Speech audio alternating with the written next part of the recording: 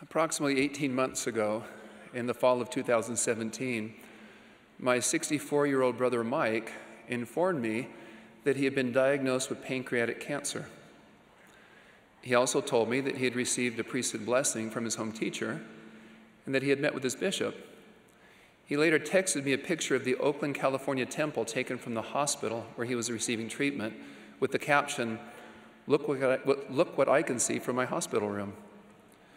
I was as surprised by his comments about home teachers, priesthood blessings, bishops, and temples as I was about the cancer. You see, Mike, a priest in the Aaronic priesthood, hadn't regularly attended church for close to 50 years.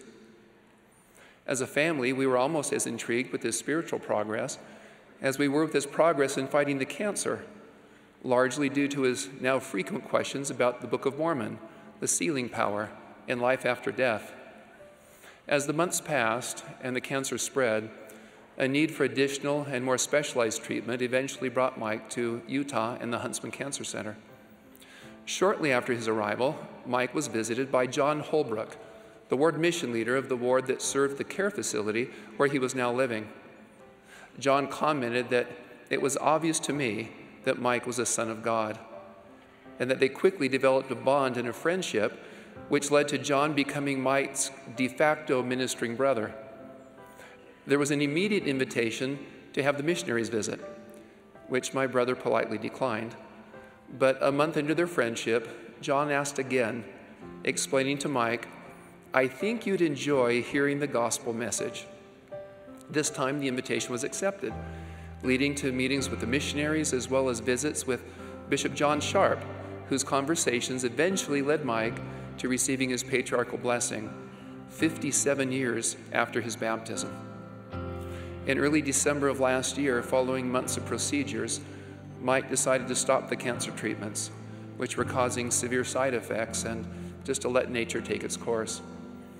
We were informed by his doctor that Mike had approximately three months to live. In the meantime, the gospel questions continued, as did the visit and support of his local priesthood leaders. On our visits with Mike, we often saw an open copy of the Book of Mormon on the bedstand as we discussed the restoration of the gospel, priesthood keys, temple ordinances, and even the eternal nature of man. By mid December, with his patriarchal blessing in hand, Mike actually appeared to be gaining strength, and his prognosis of at least another three months seemed likely. We even made plans for him to join us for Christmas, for New Year's, and beyond.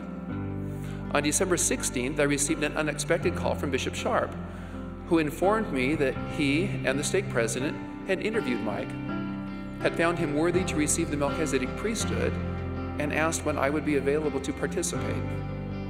The ordinance was scheduled for that Friday, December 21st.